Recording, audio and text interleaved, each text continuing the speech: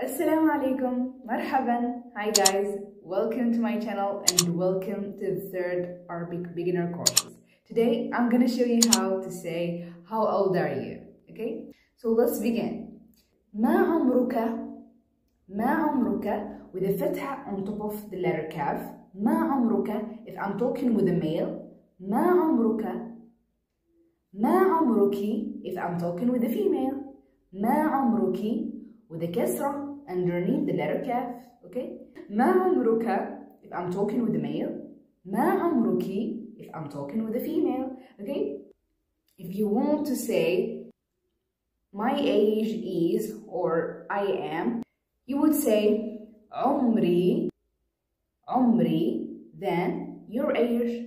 For example, عمري سبعة عشر سنة. Okay?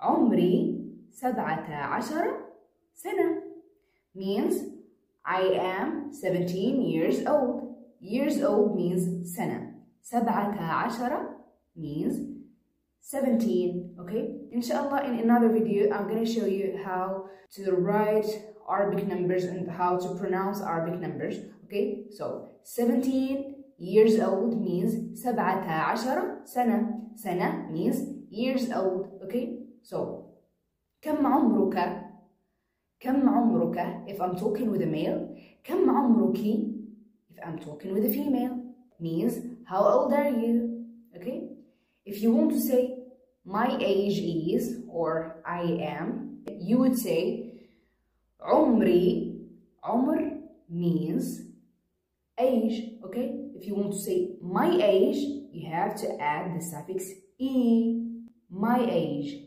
عمري عمري 17 سنة okay see you in the next video about how to say where are you from okay thanks for watching the video don't forget to follow me on my instagram to get benefits here and thank you مع السلامة bye bye